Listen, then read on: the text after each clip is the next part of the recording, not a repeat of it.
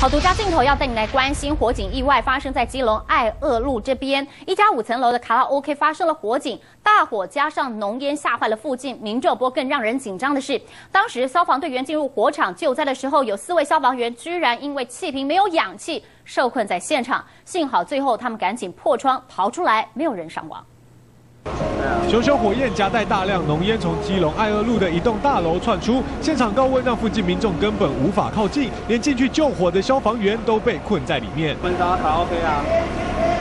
三到四名消防人员挤在窗边，大喊着“气瓶，气瓶”，情况相当危急。原来是他们上到五楼以后，发现气瓶没气了，困在里面十几分钟。火场被黑烟熏的，根本看不到逃生出口，因此他们决定破窗等待运机车救援。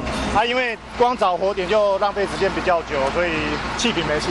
据了解，这家卡拉 OK 平常营业时间是中午十二点到凌晨两点，但却是在早上十点多冒出火舌，不排除是设备太老旧才会起火燃烧。电线走偶的样子，因为它里面什么都旧的，电冰箱、冷气都是旧的。哎，至于真正的起火原因，还有待监视人员调查厘清。这场火警也让基隆的爱乐路整个交通大打劫。记者朱丁荣，基隆报道。